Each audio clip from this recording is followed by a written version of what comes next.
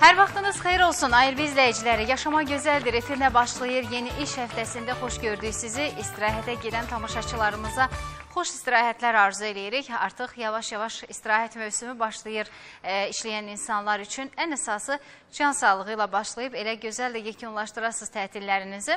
Biz də bugün e, öz ənənəmizə sadiq qalaraq səhhətimizlə bağlı, insan orqanizmi ilə bağlı çox fərqli bir e, müalicə üsulundan danışacağıq. İntegrativ tibdən danışacağıq. Xüsusilə də bu qida borusu və mədə kimi e, orqanların xəstəliklərində necə tətbiq olunur və sırf bioloji təbabət klinikasına məxsus olan ə, müayinə metodundan danışacağıq. Keçən efirlərimizdən birində də bu barədə gözəl bir efir təqdim etmişdik tamaşaçılarımıza. Bugün də çox diqqətli olun, çünki ə, demək olar ki, son dövrlər üçün ən müasir müayinə metodundan danışacağıq sizin üçün və bunun üstünlükləri nədən ibarətdir? Doktorumuzun dilindən eşidəcəksiniz.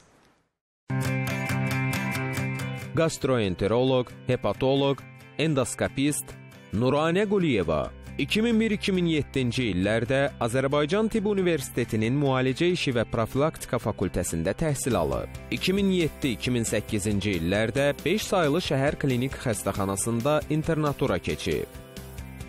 2013-2014-cü illərdə Türkiyənin Ege xəstəxanasında virus hepatitləri, diaqnostika, müalicə və klinik nəzarət üzrə ixtisas artırma kursunda iştirak edib. 2019-cu ildə Amerika Gastroenterologiya Cəmiyyətinin təşkil etdiyi müsabiqədə iştirak edərək təhsil haqqı qazanıb. 2019-2020-ci illərdə Ankara Hacettepe xəstəxanasında və İzmir Ege Universiteti xəstəxanasında gastroenterologiya, hepatologiya, endoskopik diaqnostika və müalicə metodları, funksional gastroenteroloji xəstəliklərin diaqnostika və müalicəsi üzrə kursu uğurla başa vurub. Amerika Gastroenterologiya Cəmiyyətinin və Türkiyə Gastroenterologiya Cəmiyyətinin sertifikatlarını qazanıb. Almaniya və Kolumbiyadan dəvət olunmuş həkimlər tərəfindən keçirilən biopunktura, homeosiniatriya, mezoterapiya üzrə kurslarda iştirak edib müxtəlif beynəlxalq seminar və konqreslərin iştirakçısı olub. 2019-cu ilin Amerika Təhsil Mərkəzinin hesabatında ixtisas kursunu uğurla başa vurması haqqında məqalə dərc edilib.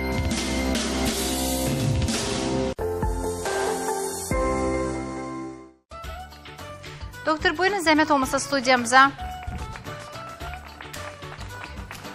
Xoş gəldiniz. Hər vaxtınız xeyir olsun. Buyurun. Tamaşaçılarımız da diqqətli olsun. Birazdan ekranda görəcəksiniz klinikanın nömrələrinə əlaqə saxlamaq üçün biz qida borusunun xəstəliklərindən danışacağıq və ən əsası müasir müayinə metodundan danışacağıq. Doktorumuz incəliyi izah eləyəcək. Doktor, xoş gəldiniz. Hər vaxtınız xeyir olsun. Çox sağ olun. Çox şadıq sizi studiyamızda görməyimizə. E, nə yaxşı ki, Azərbaycanın sizin kimi gözəl həkimləri var e, və öz sahəsində hətta hər gün, hər daim yenilikləri can atan doktorları var. E, nədən danışırıq doktor bugün? Bu gün biz e, belə deyək də, əslində diaqnozu çox gecikən, Hı -hı. amma insan arasında da çox rast gəlinən bir xəstəlikdən danışacağıq. Aha. Axalaziya xəstəliyi, Aha. qida borusu xəstəlikləri, Hı -hı. hansı ki, ədəbiyyatda oxuyanda bu nadir xəstəlik kimi bilirik.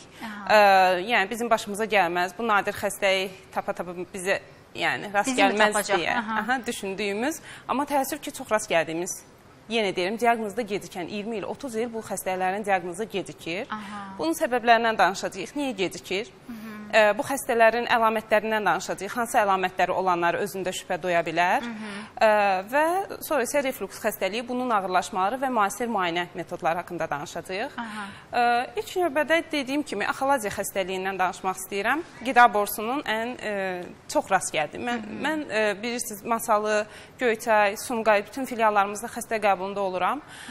Və xəstələrin məsələn demək olar ki, mən 2 ay ərzində hər filialda ən az 1-2 elə xəstə qarşıma çıxıbsa, bu yəqin ki, bizim həkimlərimizin də qarşısına bu qədər rast gəlinir, çıxır. Sadəcə olaraq müayinə metodları haqqında bu günə qədər çox da informasiyamız yox idi. Yəni, əgər bir xəstə nəfəs darlığı, uda bilmirəm, sanki loxmalarım ilişir, qalır, nəyisə dəyir, keçir, burada tikəm qaldı, ya aşağı hissədə göstərir ki, tam burada əli ilə konkret xəstə nahiyə göstərir. Boğazımda qalır, tikə udqunuram, getmir. Hı -hı. Yaxud da burada qalır, udqunuram, getmir. Aha. Bu şikayətdə olan xəstələrdə biz nə edirik? Bunlar alarm simptomları, yəni təcili təbil e, çalan Aha. simptomlardır. Bunlar olduqda mütləq surətdə birinci növbədə endoskopiya olunur. Hı -hı. Amma endoskopiyada bu xəstələrin 70-80%-də demək olar ki, bir şey aşkarlanmır.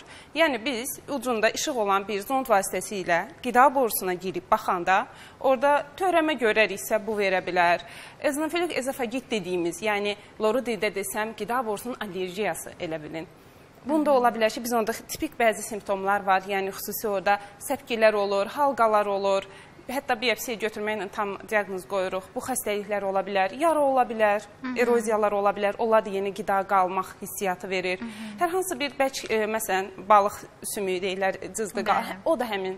Çünki qida borusu biraz zərifdir, iç hissəsi cüzi bir cızıq da olanda o simptomu verə bilər. Amma dediyim kimi 70-80% hallarda biz qida borusunu tam ideal, tərtəmiz, nə oran sıxan bir şey var. Xəstəyə də izah eləyirik ki, sən qida borunda bir şey yoxdur, amma xəstə gedir, gəlir doktor uda bilmirəm. Siz deyirsiniz seçən yoxdur, amma mən uda bilmirəm. Hı -hı. Bu hallarda nə etməliyik xəstə? Bunun başqa simptomları da olur. Bəzən başqa xəstəliklərlə də doğrudan simptom olaraq çox qarışır. Məsələn, deyir, yediklərim ağzıma gəlir. Aha. Biz bunda 100% düşünürük ki, bu reflüks xəstəliyidir. Yəni Hı -hı. bunu əhali də bilir çox vaxt ki, e, belə bir şikayət onda xəstə özü gəlir ki, doktor, mənim reflüks xəstəliyim var. Yəni artıq özü özünə diaqnoz qoyur. Hı -hı. Amma axalaziya xəstələrində qida borusunun aşağı hissəsi reflüksdə necə olur? Bağlanmır. Qida borusunun mədəyə keçən hissə bağlanmır və həzm vaxtı həmin qida hissəsi qida borusuna qayıdır. Hı -hı ağza qayıtma regurgitasiyada ola bilir. Axalaziyada tam tərsi. Qida borusunun mədəyə keçən yeri açılmır. Hı -hı. Yəni xəstənin qəbul etdiyi qida orada yığılır. Aha. Və ağzına gələn qida əslində mədədən yox, qida borusuna yığılan qidadır gələn. -hı. Yəni görürsüz simptomlar necə oxşardır. Amma birində açıq qalır, birində əksinə açılmır. -hı. Yəni bunlar tamam fərqli-fərqli xəstəliklər olduğuna görə yanaşma da fərqlidir və çox dediyim kimi üst-üstə düşmələr çox ə, Tez-tez olur. Tez-tez olur. Hı -hı. Yaxud da döş sümüyü arxasında ağrı. Hı -hı. Biz ümumiyyətlə döş sümüyü arxasında ağrı olanda ilk növbədə kardioloqa müraciət edirik. Biz gastroenterologlarda həmçinin Aha. kardioloq bizə inkar eləməlidir ki, burada ürəyin bir işemik xəstəliyi, gizli bir stenokardiya yoxdur. Aha. Bunu inkar elədikdən sonra biz buna deyirik non-kardiyak döş sümüyü retrosternal ağrı. Hı -hı. Yəni bu o demək ki, qida borusunda bir şey var yəni. Aha. Ya spazm var, ya onun əzələsində, ya sinir təchizatında bir problem var. Hı -hı. Bunu da yenə deyirəm, endoskopiya, mən həmişə xəstəyə izah eləyirəm. Endoskopiya nədir? Ucunda işıq var, kamera var. Mən girib onun içərisini görüb çıxıram. Hı -hı. Yəni yara-xora, onu sıxan bir şey varmı, onu görürəm. Amma Hı -hı. əzələni dəyərləndirə bilmirəm. Aha. Siniri dəyərləndirə bilmirəm, çünki biz bilirsiniz, sedasiya altında, yəni xəstəni yatızdıraraq müayinə edirik. Hı -hı. Mən orada xə xəstə oyaq olsa da öyümə ancaq refleksi olur. Hə. Yəni mən orada xəstəyə deyə bilmirəm, bir udqun görüm necə yığılır, onu Aha. deyə bilmirsən. Çünki xəstə davamlı öyüyür. Oyaq Aha. olanda, yatanda da ümumiyyətlə heç bir ə, e, hərəkət izlənmir. Aha. Bu müayinənin üstünlüyü nədir? E, deməli, müayinəmizin adı əslində manometriya, Aha. qida borusunun manometriyasıdır. Əslində burada e, rektoanal e, anal e, manometriya üsulu da var. Yəni aparatın bir neçə xəstəliklərdə diaqnozu var. Hal-hazırda e, bu xəstəlikdən danışdığımıza görə özofaqus manometriyasından danışırıq. Hı -hı. E, burada xüsusi kateterlər istifadə Hı -hı. olunur. Bu kateterlər nə edir? E, deməli, e, hər birinin Hə, ə, zəhmət olmasa orada manometriya ilə əlaqədar görüntülərimiz vardı. Kateterlərin fərqini göstərmək istəyirəm Aha. və ümumiyyətlə ə, həm xəstələrə anlaşılıq olsun deyə bu nazik ə, bir e, solid state dediyimiz Aha. kateterdir. Əvvəllər istifadə olunan, görürsüz bu metal ringlər, görünən ringlər hər biri ölçür. Aha. Özü sirkulyar olaraq ölçür. Yəni bir nöqtəni ölçmür. -hı. Qida borusunu tam dairəvi şəkildə ölçür və bu hissə, ölçən -hı. hissələr bu metal görünən hissələrdir. Görürsüz aşağıda daha sıxdır, yuxarıya qalxdıqca biraz daha enlənir. Hı -hı. Ucu nisbətən elastikdir, fleksibeldir. Xəstə gördüyünüz kimi heç bir sedasiya altında olmur, tam e, oyaq vəziyyətdə. Burnun ola bilər e, yüngül e, keyləşdiririk və kateteri xəstənin udqunma hərəkətləri verərək, yəni özü ududa, danışa-danışa o kateteri yeridirik və monitorda izləyirik. Hı -hı. Ə, ki, yəni bizim kateter hara getdi? Mədəyə çatdı mı? Yoxsa qatlandı mı? Bəzən yırtıq olan xəstələrdə kateter içəridə qatlanır. Aa. Yəni elə oradan onun üçün deyirəm bu mütləq həkim e, olunmalı, həkimin eləməli olduğu bir Aha. müayinədir. E, məsələn biz yerdikdən sonra artıq Deməli radioloq həkimlər e, məşğul olmur belə çıxır ki? E, Hal-hazırda ölkəmizdə sadəcə demək olar ki, bu sistemi gətirən ilk mərkəzi. Aha. E, və ona görə də ilk eləyəndə e, mənəm mütəxəssis kimi e, Və biz burada xəstəyə yeridəndən sonra, kateter yeridəndən sonra yerinə baxırıq. Bəli, bu bizim üst sfinkterimizdir. Yəni uduruğa birinci bura açılır. Hı -hı. Bura açılır və həmin vaxt əslində udqunma hərəkətini qida borusu belə yığılmalıdır. Açıldı, yığıldı, belə peristaltik, belə-belə itələməlidir aşağıya. Aha. E, bu bu xəstəmizdə patologiyadır. Normalları da göstərəcək. Bu açılanda bu qırtlaq burada açılmalıdır. Yaşlılar göstərir ki, burada əslində burada təzyiqlər şey var. Bu 3D görüntüsüdür təzyiqlər şkalası var. Yəni rənglərin hər biri müəyyən bir təzyiqi göstərir. Məsələn, mavi daha dənizlər kimi düşün. Dəniz, dağ, ən uca dağ, belə Hı -hı. düşünün. Dəniz e, yəni ən aşağı təzyiqi olan, ən alçaq, harda ki daha çox tünd görürük. Bunlar ən zirvəyə, ən yüksək təzyiqi olan yerlərdir. Hı -hı. Yəni burada nəyinsə gözümüzdən qaçması mümkün deyil. Çünki o metal ring ölçür deyirəm, dairəvi şəkildə ölçənlər. Aralarında 1 sm məsafə var. Yəni ideal dünyanın verdiyi protokolda Əsl müayinə belə olmalıdır. 1 santimdən artıq məsafə olanda nələrsə yenə qaçırırıq. Hı -hı. Ə, dediyim kimi burada açılanda burada açılır. Görürsüz bu xəstədə yaşıldır. Yəni açılmayıb aşağı sfinkter. Hı -hı. Və o hərəkət dediyim normal hərəkətlər yoxdur. Hı -hı. Yəni qida borusu əslində heç bir hərəkət eləmir. Nə yeri bir boru kimi düşünün. Nə içir xəstə, aşağısı bağlı boru. Hı -hı. Hamısı toplanır içində və toplanda belə bir görüntü yaranır. El bir borunu su ilə doldurmusan. Hı -hı. Biz burada xəstədə əlbəttə dinamik müayinədir dediyim kimi, xəstə oyaqdır. Biz xəstəyə 5 milli, 5 milli sular veririk. Verdikcə uduzdurub baxırıq bu görüntüyə. Görürsüz toplandı e, su toplanıb əslində. Aha. Qida borusunun hərəkəti deyil o. İndi normalları göstərəcəyik normada necə olmalıdır. Ondan sonra hətta e, üzr istəyirəm 200 millilik suyu belə e, pipetlə deyirik ki, daha çox hamısını udmağa çalış. Baxmağa Aha. istəyirik ki, bu xəstə əslində normal qidalananda necə olur. Sonra qatı yemək veririk. İndi orada müxtəlif e, sərt e, krekerlər ola bilər, Hı -hı. Düyü ola bilər, xəstənin şikayətinə görə də hansını uda bilirsə ona uyğun veririk. Və məsələn xəstə deyir, düyü yeyirəm qalır, ya çörək yeyirəm qalır, su içirəm, problem yoxdur. Aha. Onları onu da izləyirik. Doğrudan düyü veririk necə olursan, doğrudan çörək kateter orada ola-ola. Yeyir və biz görürük ki, hə doğrudan da xəstədə həmin vaxt o ağrım olan dediyi vaxt orada hansı dəyişikliklər baş verir. Hı -hı. Yəni dediyim kimi bu e, axalaziya xəstəliyinin diaqnostikasında qızıl standartdır. Aha. Biz burada axalaziyanın 3 tipi müəyyən olunur. 3 tipində aşkar. Görürsüz necə nazik. Bəzən xəstələr çox qorxur, zon endoskopiya ilə qarışdırır. Deyir ki, doktor mən onu oyaq necə uda bilərəm. Aha. Onun üçün mütləq dedim ki, görüntülər olsun. Ə, e, nazik zondur və udmanda heç bir problem müşahidə olunmur. -hı. Doktor, öygümə kimi e, problemlər olmurmu bəs? Necə? Öymənin olması? Olmur, heç olmur. olmur. Çünki dediyim kimi yavaş-yavaş hərəkətlərlə xəstə danışa-danışa, udquna, normal udqunanda necə udursunuz? Elə uda-uda, burnu biraz keyləşdiririk, bəstalam. Olmadı, uda bilməyəndə su veririk. Su içi-içə udur, yenə də heç bir problem olmur. Hı -hı. Məsələn, e, bu xəstəmizdə də e, reflux xəstəliyim var deyə gəldi. Belə bir xəstəmiz yenə olmuşdu. Hardasa 10 kiloqrama yaxın 2 ay ərzində çəki itirir. Hı -hı. Bu da bilmirəm, yediyim ağzıma gəlir. Endoskopiya olunur. Bəzən yara olmayanda da deyirlər sənin yara olmayan reflux xəstəliyisən. Belə diaqnoz qoyulur. Amma ə, e, xəstənin bəzi şikayətlərindən hardasa şübhələndik, prosedurumuzu elədik və doğrudan da axalaziya tip 2 müəyyən olundu. Aha. Tipləri niyə deyirik? Hər birinin müalicəsi, hər birinə yanaşma, hətta cərrahi müdaxilə belə fərqlidir. Aha. Düzdür, burada yaş kateqoriya yaşla nəzərə alınır, müalicədə mütləq. Görürsüz, ağzına xəstənin 5 milli, 5 milli su veririk və monitorda izləyirik. Uddu, nə baş verdi? Açıldı mı sfinkter, o su mədəyə düşdü mü? Məsələn, bizim 16 yaşında bir xəstəmiz var idi. Birinci iş növbədə əlbəttə endoskopiya eləyirik. Yəni, e, uda bilmirəm, arıqlayıram deyə gəldi. Müayinə elədik, gecə xəstə gecə saat, e, axşam saat 8-də e, yarım stakan su içmişdi və səhərsi gün, yəni 24 saat, bəlkə 10 saatdan çox vaxt keçib, e, saat 3-də müayinə elədiyimiz vaxt qida boşluğu su necə içmişdi, elə də dururdu. Hı -hı. Ya, bu nə demək? Bu xəstə suyu belə aşağıya keçirə bilmirsə, burada qidalanmadan, burada hər hansı yəni. bir şeydən söhbət gedə bilməz. Deməli, qidalanmada daha ciddi problemləri ciddi var. Ciddi problemlər yaradır. Hı -hı. Həm də burada təkcə problem uda bilməmək, qidanın orada qalıb ağzına gəlmək deyil. Yəni bunun ağırlaşmaları var. Əgər maye orada qalırsa, xəstə yatırsa, o maye xəstə yatılı vəziyyətdə qida borusundan ağciyərlərə gedib pnevmoniyalar verir. İndi burada su varsa, qida varsa, ağciyərə gedib daha ciddi problemlər, absesə qədər gətirir, çıxarır. Yəni ən qorxduğumuz şey budur, aspirasyon pnevmoniyası dediyimiz şey. Ondan əlavə qida artıq aşağıda bir bağırsaq necə qalır genişlənir qəbz olan xəstələrdə? Çıxara bilmir, böyüyür, böyüyür, bağırsaq genişlənir. Deyir mənim bağırsağım genişlənib, mənim bağırsağım uzanıb.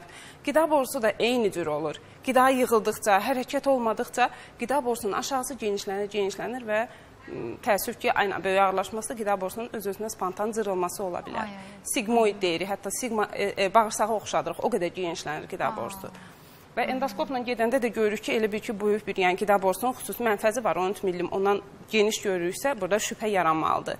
Orada mən endoskopla mədəyə keçə bilmirəmsə, yenə şübhə yaranmalıdır. Əgər xəstə yatıbsa. Yəni tam sedasiyadır, yatında əzəllər tam boş olmalıdır. Demək keçə bilmirəmsə, burada böyük bir spazm var. Açılmır. Yəni bu hallarda mütləq şübhələnmək lazımdır. Axalaziyada. Amma bundan başqa qida borusunun başqa xəstəlikləri də var. Axalaziyadan başqa xəstəliklər də var. Məsələn, bu bizim ə, yəni bu köhnə sistemlərdir, sul sistemdir.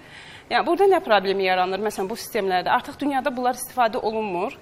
Ə, çünki sul sistemdə o birinci o dediyimi 1 sm olmalıdır ara. Məsafələr çox böyükdür. Orada qida borusunun hər hansı bir yerini müayinədən qaçmış ola bilir.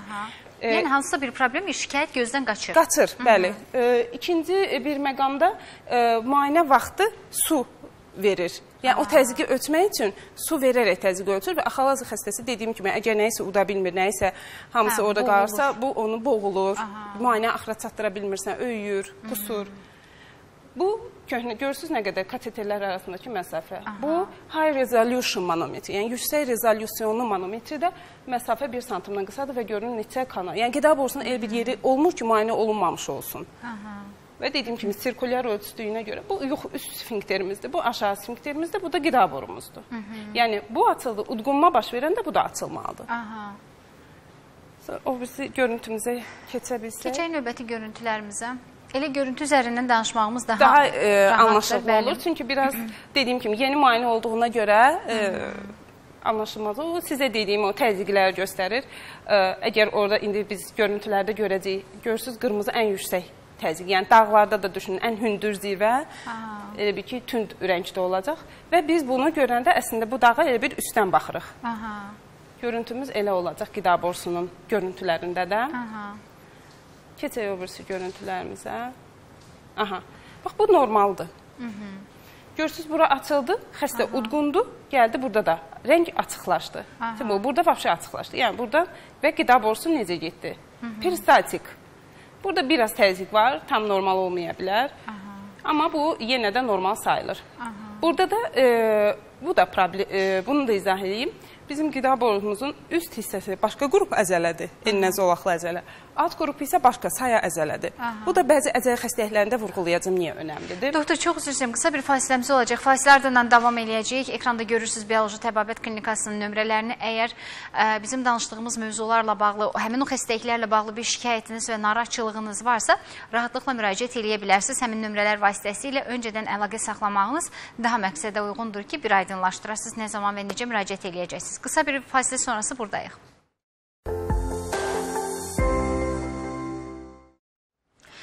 Masallı bioloji təbabət klinikası barəsində tamaşaçılarımıza qısaca bir məlumat verəcəm. Ardından müzakirəmizə davam eləyəcəyik. Hər həftənin birinci, ikinci və beşinci günləri Bakı Bioloji Təbabət Klinikasından müxtəlif ixtisaslı həkim heyəti Masallı filialına gedir.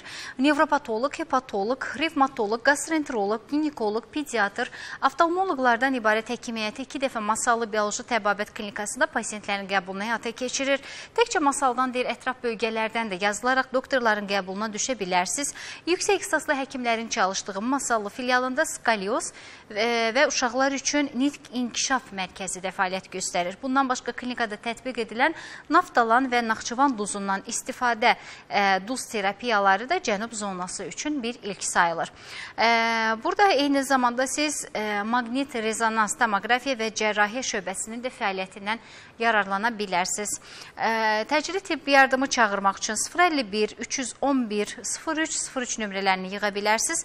Klinika ilə əlaqə saxlamaq üçün 025 215 50 89 215 55 38 mobil nömrədən 055 532 89 88 nömrələri vasitəsilə əlaqə saxlayıb qəbula yazıla bilərsiniz. Həm masallı, həm də masallı ətrafı bölgələrdən tamaşaçılarımız rahatlıqla müraciət eləyə bilərlər. Və doktorumuz da həftədə 2 dəfəmi doktor? Artıq həftədə bir dəfə. Artıq bir dəfə həftənin ikinci, İkinci günləri. günləri, bəli. Masallı bioloji təbabət klinikasında olur doktorumuz. Qalan günləri isə Bakıda olursunuz yəqin ki, hə? Ə, Həftənin 4-cü günləri Sumqayıt bioloji təbabət klinikasında, 6-cı günlər Göyçək Hə, deməli bütün filiallarda olursunuz həftədə bir dəfə. Aha. Amma həftənin tək günləri 1-ci, 3-cü və 5-ci günlər Bakı bioloji Bakıda olursunuz. Aydındır. Müraciət etmək istəyən tamaşaçılarımız həmin günləri nəzərə almalıdırlar. Çünki doktorlarımız ə, vaxtaşırı bölgələrdə olan filiallara gedirlər və orada da yerli olaraq pasientlərin qəbulunu həyata keçirirlər. Biz isə bu gün doktorumuzla danışdığımız mövzu ki var. Öncə biz axalaziya xəstəliyi ilə ə, başladıq. Doktorumuz bunu izah elədi ki, qida borusunun xəstəliyidir. Öncələr o qədər də tez aşkar olunmayan bir xəstəlik idi, amma müasir cihazların sayəsində xəstəlik daha sıx aşkarlanır və əvvəllər ə, daha az görüldüyü düşünülsə də bu gün cihazların sayəsində daha çox üzə çıxdığını deyirik artıq. Doktorumuz orada izah eləyir ki, əslində ə, bu cihazın üstünlüyü nədən ibarətdir? Niyə bu xəstəliyin tez bir zamanda aşkarlanması üçün bizə imkan verir? Eyni zamanda orada sfinkterlərdə olan problem, əzələlərdə olan genişlənmələr və s. varmı, yoxmu? Bütün bunları izah etmək üçün çox rahat bir cihazdır və Yüksək ə, dəqiqliklə ölçür və görürsüz hər təzyiqin öz rəngi var. Yəni hətta Aha. arada 500 məsələn millimetr civə sütunu fərq eləyir, amma o da rəng fərqi olaraq cəlb eləyir. Aha. Yəni biri var desin ki, hə burada təzyiq aşağıdır, yuxarıdır, sadəcə sözəl olaraq belə deyim. Bir də var ki, konkret olaraq hə burada təzyiq konkret bu rəqəmdir. Deməli yüksəkdir burada təzyiq, burada spazm var, burada bir şey var, bunun altında bir narahatçılıq var. Yəni dediyim kimi 24 kanallıdır. Qida borusu boyunca 24 kanal dairəvi surətdə dayanmadan ölçülür. Aha. Yəni ən yüksək e, belə deyim texnologiyadır hal-hazırda əlimizdə və burada hər hansı bir xəstənin gözdən qaçması mümkünsüzdür sadəcə olaraq.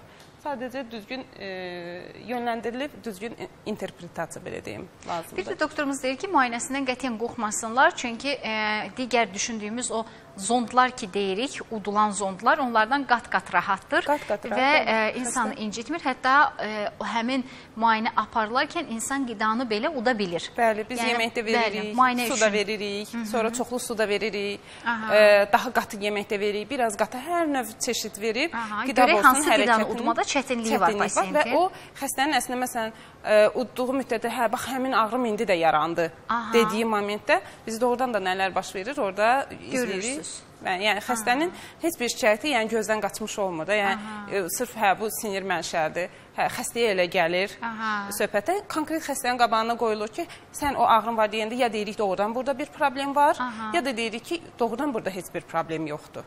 Orada daha dəqiq yönləndirə bilirik xəstəni. Aydındır. Yəni doktoru e, çaşdıracaq artıq məqam qalmır. Qalmır. Bəli. Boşluq qalmır. E, yenə rənglər, yəqin ki, burada bu şkala hə, aha, nə qədər buradakı- ciddi bu olması əvvəlki müayinə göstərir. üsullarında sadəcə belə qrafik olaraq izlənirdi. Dediyim kimi tam dəqiq olmurdu orada da. Hal-hazırda rənglər e, skalasından daha rahat, rahatdır. Aha.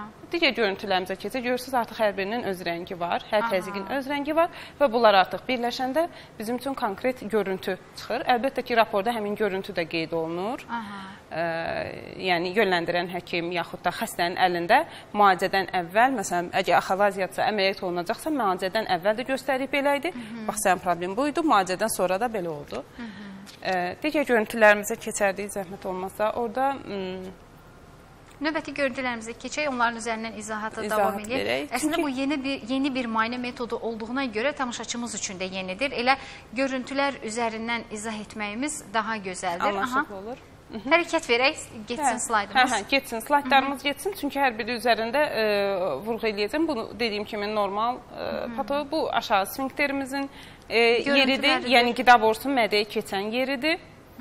Aha, bunlar getsin artıq digər görüntülər. Bunlar üst sfinkterin. Yəni biz burada əslində o udlaq, qırtlaq, həmin nahiyəni də qi- qiymətləndiririk. Aha. Bəzən olur.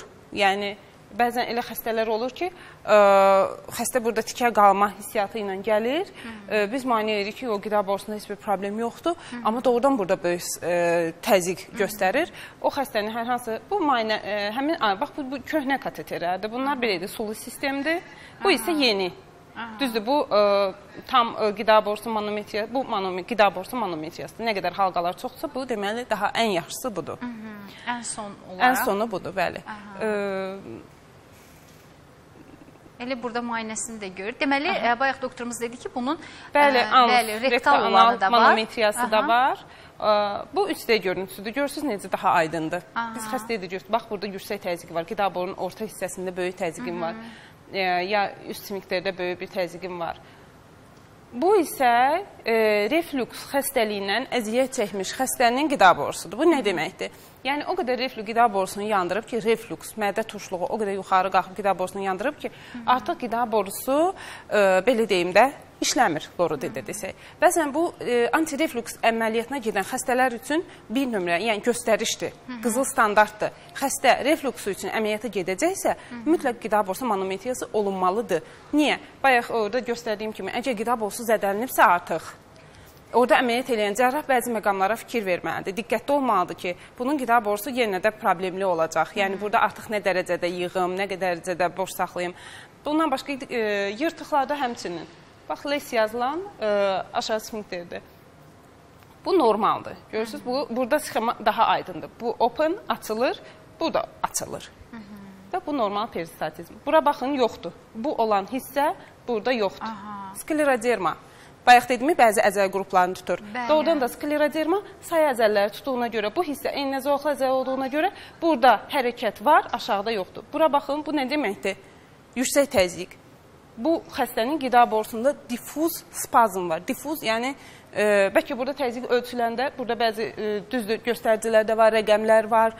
Yəni diaqnozu biz sadəcə görüntüyə baxıb, rənglərə baxıb çıxartmırıq. Aha. Bunun ə, Chicago sınıflaması var, təsnifatı var. Aha. Orada deyir, bu rəqəm bu qədər olsa, bu qədər orada göstəricilərə görə xəstəyə 100% diaqnoz. Yəni yenə deyim, təkcə rənglər yüksəkdir, səndə bu var deyə demirik. Aydındır. Orada çox göstərici nəzərə alınır. Klassifikasiyası var. Bəli. Klassifikasiyası var. Mütləq klassifikasiyası var. Aha. Burada e, qida borusu motor xəstəliklərini 6-7 sinifə bölünür. Hər birinin də öz göstəricisi var. Hamısına uymalıdır, yəni xəstəyə bu diaqnozu qoya bilməyimiz üçün. E, bu isə pH metriya a, aparatımızdır.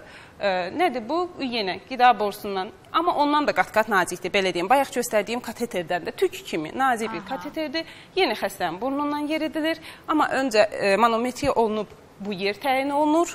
Dedim bayaq orada hərəkətlər var idi. Axı hərəkətlərlə bilirdik ki, mədədəyik, qida borusundayıq. Yer təyin olunandan sonra qida borusunun aşağı sfinkterinin 5 sm üstünə qoyulur.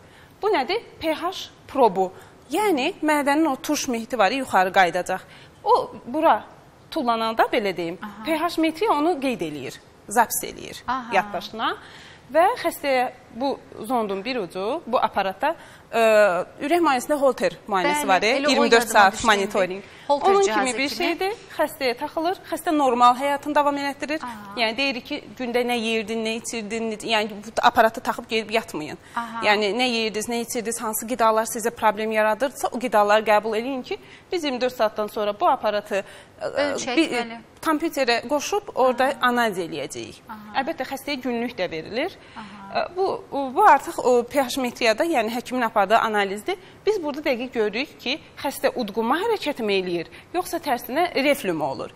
Yəni burada bu göstəricilərə görə udqunanda bu dəyərlər düşür. Onu da qeyd edeyim ki, hal-hazırda qızıl standart təkcə pH metriyə deyil. Yəni təkcə mədəmin loridi dediyim turşuluğun ölçmək deyil. Qida borusu impedans dediyimiz bir müayinə də var. Onun üçün adı belə gedir. pH metriya və impedans müayinəsi. Aha. Nə deməkdir? Burada biz gəyirməni də görürük. Məsələn, xəstə gəlir ki, gəyirmədən çox əziyyət çəkən xəstələr var. Ə, biz ona deyim, deyirik ki, hə, məsələn, ya deyirik sən xəbərin olmur, psixoloji olaraq hava udursan mədəndə, qalır ona görə gəlirirsən. Bəzən də xəstələrdə bu müayinədə görürük ki, xəstə ə, heç mədəsindən gəlmir, yəni qida borusunun ortalarında bir problem yaranır. Bu xəstəyə verdiyimiz alətdir. Orada xüsusi nöqtələr var və xəstəyə izah olunur. Yatanda, yemək yeyəndə bəzi nöqtələr var. Onlara basarsınız.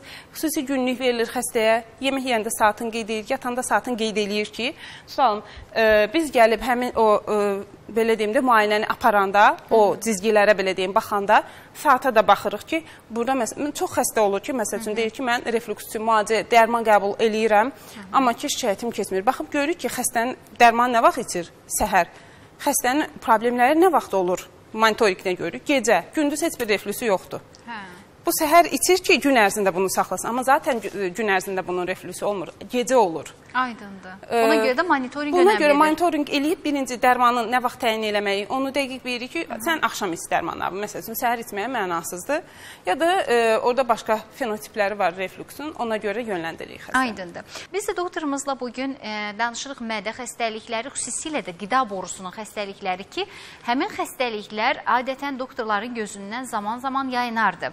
Ancaq bu gün e, artıq doktorlarımızın gözündən yayılmır, müasir cihazlara e, belə deyək, təşəkkür edərək.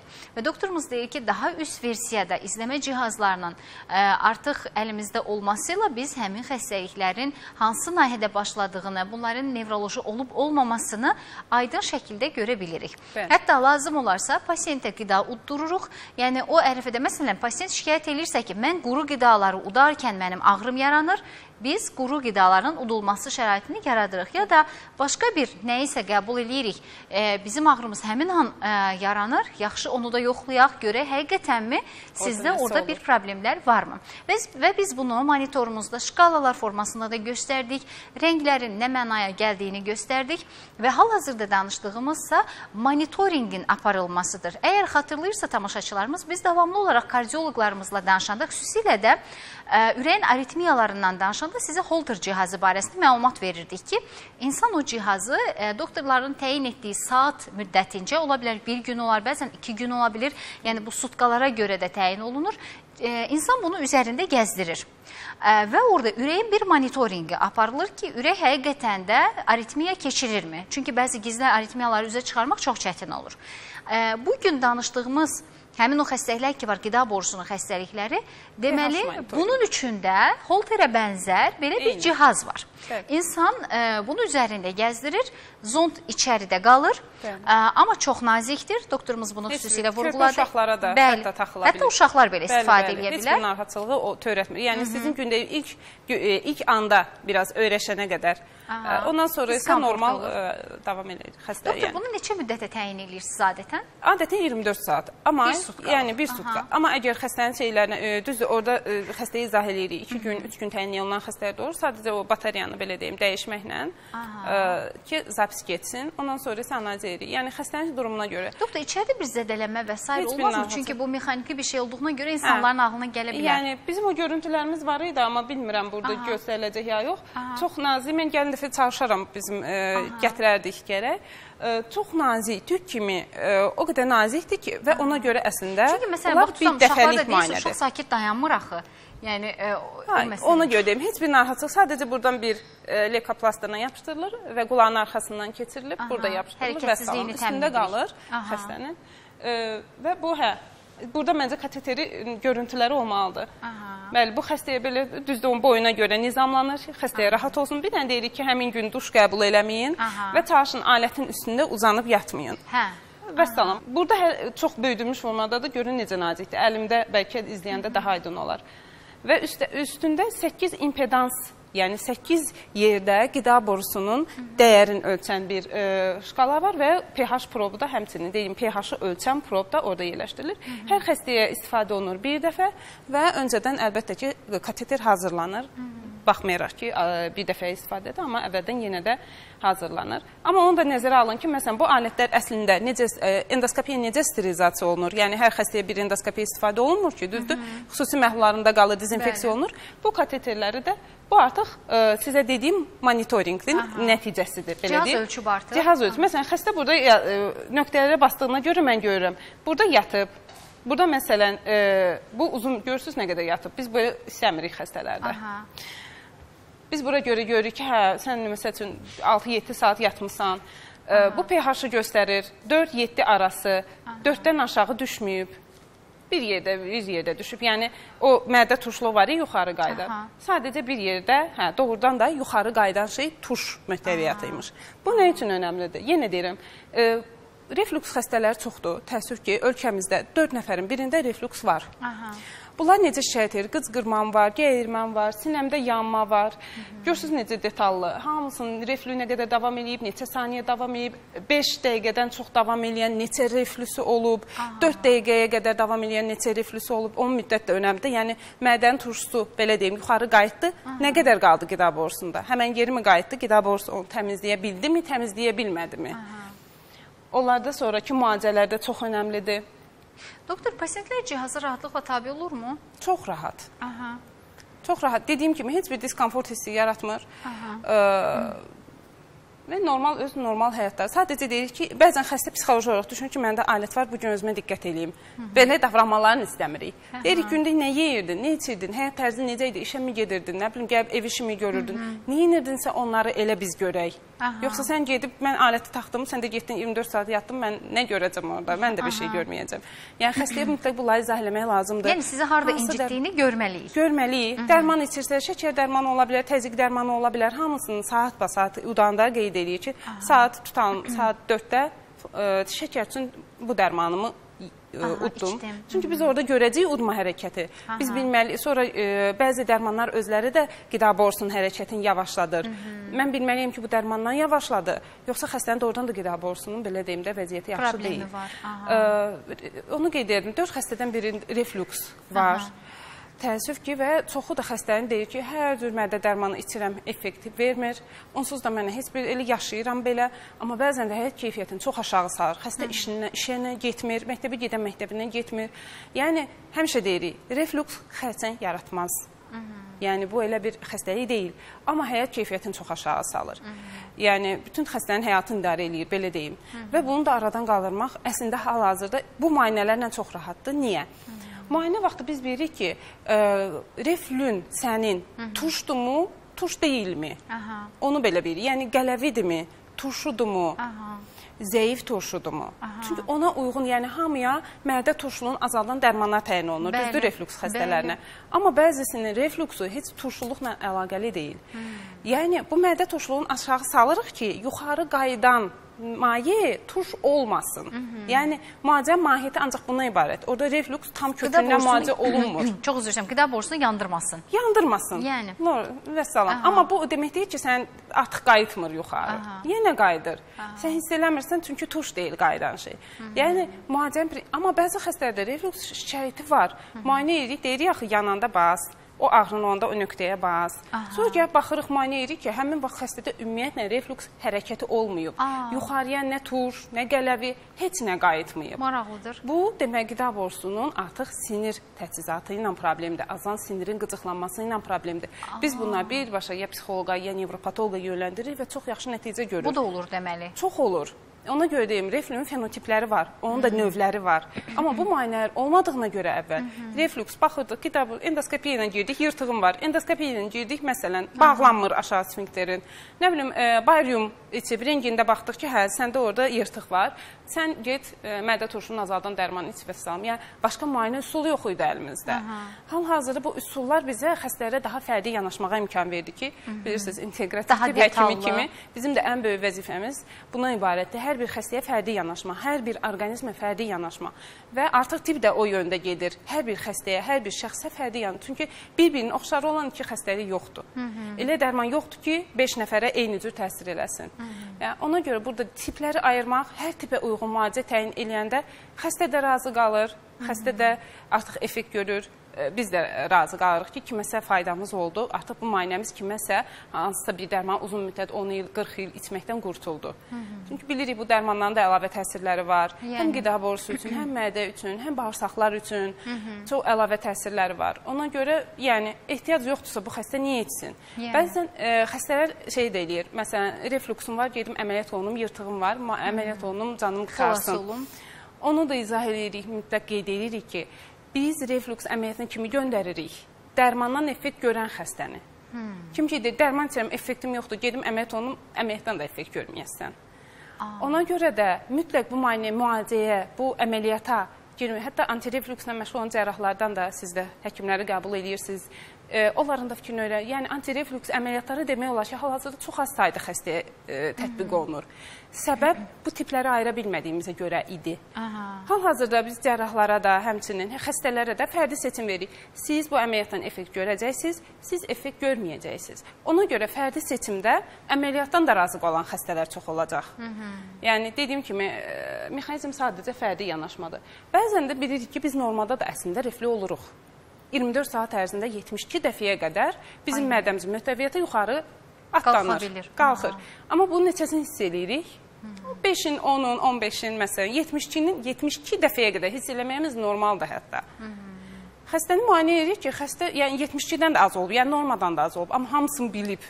10 dəfə reflü olub, onda da deyir yanmışam deyib nöqtəyə basıb. Aha. Bu hipersensitiv özofagus deyirik. Yəni sən qida borun aşırı həssasdır. Aydındır. Yəni və biz bura elə müalicə təyin eləməliyik ki, sırf qida borusunun həssaslığını azaldan müalicə tətbiq eləməliyik. Yəni nevropatoloqa get səni yatızdıran, səni keyləşdirən, sakitləşdirici bu tip dərmanlar istəmirik. Bəzən xəstəyə deyirik sənin qida borun həssasdır. Gəl nevropatoloqa, orada da fikrini tam izah eləmir və sonra da gəlir ki, mən e, nevroloji müalicədən də effekt görmədim. Əslində doktor biz mədə xəstəliklərindən danışanda, xüsusilə də məsələn sağalmayan qastritlərdən danışanda həmişə doktorlarımız deyir ki, əsəb sistemi nəzərə alınmalıdır. Yəni ə, bəzən görürsüz ki, nə qədər müalicə alır alsan insanın qastriti sağalmır. Bu sırf qıcıqlanmasına ə, bağlıdır ki, hətta mən dəfələrlə insanlarda görmüşəm ki, doktorlar sinir sisteminə də yanaşı müalicə yazır, gedir mədəyə aid olan dərmanlarını alır, aptekdə deyir ki, sinir sisteminə bağlı olanları verməyin.